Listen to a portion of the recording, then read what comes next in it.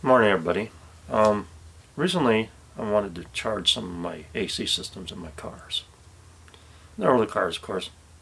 Went to the store and found out that this R134A is no longer being sold in Washington State in small canisters. You have to have a license and all that stuff and have a recent turn. Now, let's take a look this is. Also, Wisconsin's considering something like this you know, the woke broke stuff is starting to kick in and we're gonna, you know, inflation reduction, yeah, inflation reduction for who? It's not gonna be for you and me. Uh, let's get 87,000 more people on board to collect taxes from all the deadbeats. Who's the deadbeats? I don't know, middle class? They say they're trying to help the middle class. I don't believe a word of it. Oh, I believe that we're being conned into the Green New Deal. Woke go broke.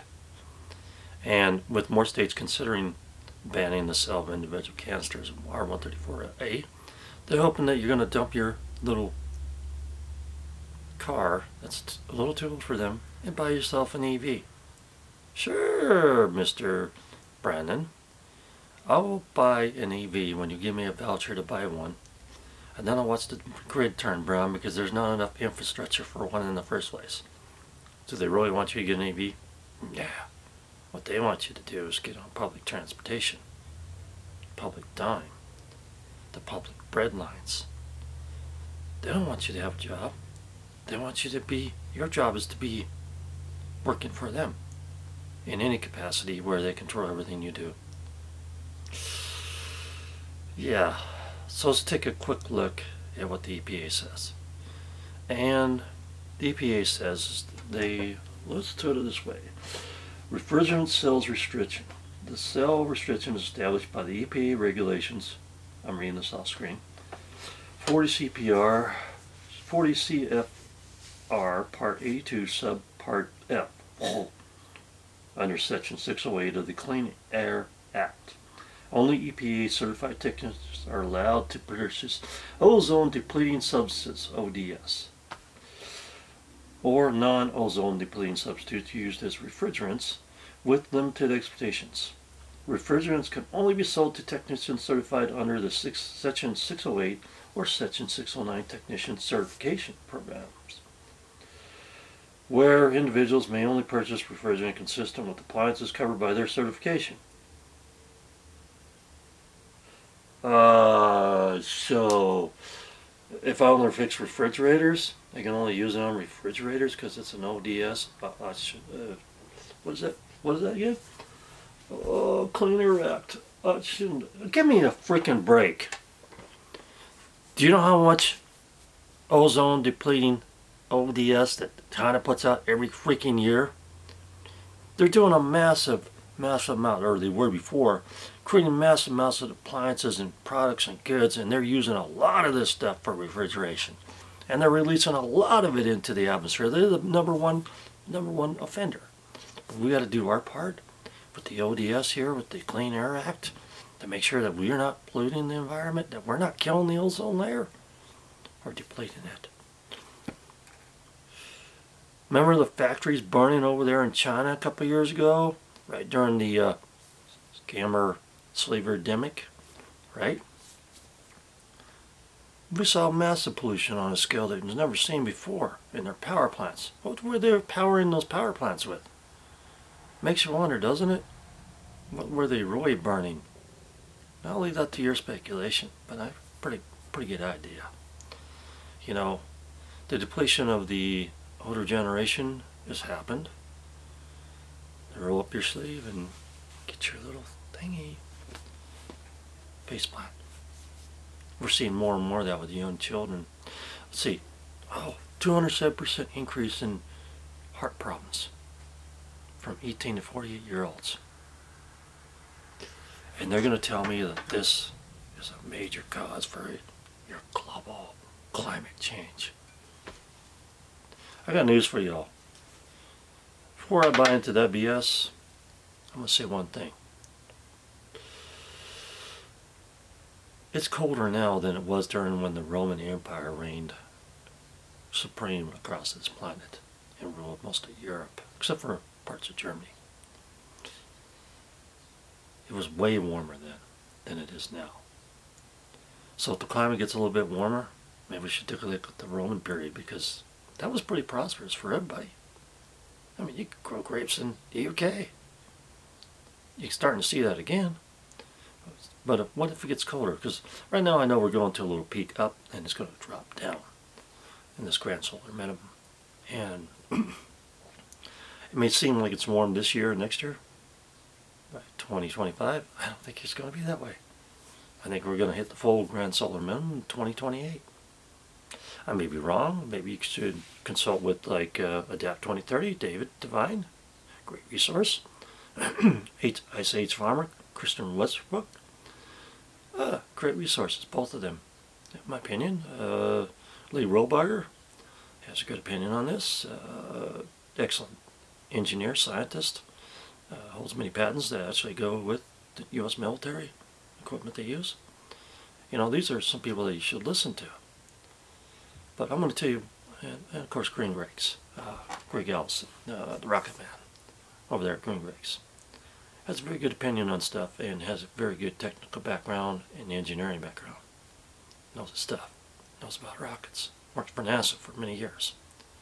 But you should listen to people that actually have expertise in this stuff. And what you should listen to is that this woke, broke, green deal is a bunch of holy bullshit, in my opinion. I hate to use a swear word. But other states are considering banning the sale of this small little canister R134. So people like me that just want to recharge their refrigeration systems and actually know what we're doing, you know, for years, I've been doing my own AC systems. I even rebuilt them. Oh heck, I've rebuilt engine transmissions, done all kinds of major work on cars and trucks. I do it myself because I don't trust the mechanics because they just, in my opinion, most of them just rip you off. It's just like any other industry. You go to the doctor, 300 bucks used to be just to see a doctor, right? 300 bucks. Got insurance? Okay, here's your copay. Right. Overpriced. For you to go in there, sit in a waiting room, and wait 15 minutes to be seen. So, yeah, you got a cold. Go home and take two aspirin, and, and uh, here you go. Bet you yeah. Yeah. I, you know, take a whole year's worth of school to learn how to uh, make other people call you doctor. okay. I have friends that are doctors. One's a brain surgeon, one's a heart surgeon. Okay? Good people. Honest, down to earth people. They talk to anybody. They don't worry about being called doctor. And they're very good in their profession, what they do. I have friends that are lawyers. Yeah. Yeah, I can name three of them. The fourth one fell off a waterfall in Norway a while back here, about three or four years. I think it was 2016. Yeah. Fell off a, a waterfall and died. Yeah, they were all good people. I would trust them. One married one of my sister's best friends. Yeah. But I'm gonna enough rambling on. What I'm gonna say is that remember when you couldn't buy garden supplies in Wisconsin? Or Michigan, I think it was. I think it was Michigan. Yeah, you can't buy garden supplies in the middle spring because it might give you the woohoo flu. Um, yeah, that didn't make any sense. You're out in the garden by yourself, planting stuff, in the fresh air. How long before, hey, the rest of you states get in line and says, oh, you can't buy this because it's, yeah, it's an ODS, oxygen depleting. Go woke, go broke. This this society is is totally broken down, and the supply chain is not very viable at this point. It's breaking down too.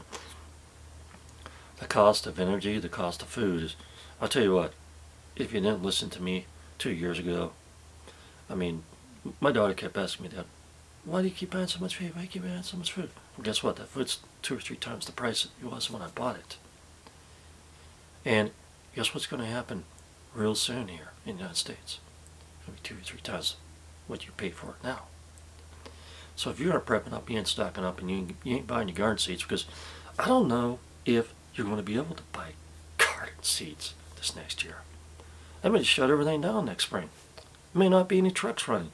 I mean, they want to go woke and broke and green so fast.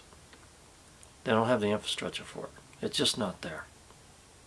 I don't mind protecting the environment, but tell me again how mining for lithium batteries is good for the environment. You know how many tons of material you got to actually strip mine out of a mine to actually build a battery? It's ridiculous. How much energy you got to spend. The Green New Deal is not a deal that's green for anybody except for the people that know about it and take advantage of it. That have companies that they got or they sign on to or they buy into. I know people say, well, and you know what? If nothing else, go with the flow. The big five defense contractors. Let's name a few of them, Raytheon, Martin, Lee, Northrop Grumman. Let's just start with those three.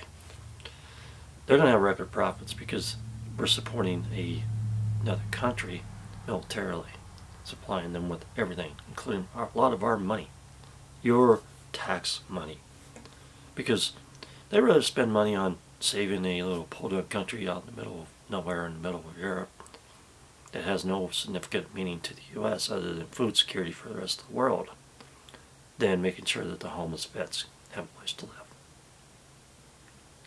Welcome to the Banana Republic, folks. And it's getting ridiculous. I hope you learned something. I hope you watch your um, state, what they're going to enact and proposing. Because if you're not paying attention, you might wake up and find out this is not available anymore. And guess what? If it's not available anymore, where are you going to go find it? Well, you can. You can find something equivalent to this on the shelf. One can of this, eight bucks versus 130 bucks on the shelf for the alternative. If your car can use it. Does that sound good to you? Not to me. Thank you for watching. Thumbs up, like, subscribe, and I hope to see you back for more content.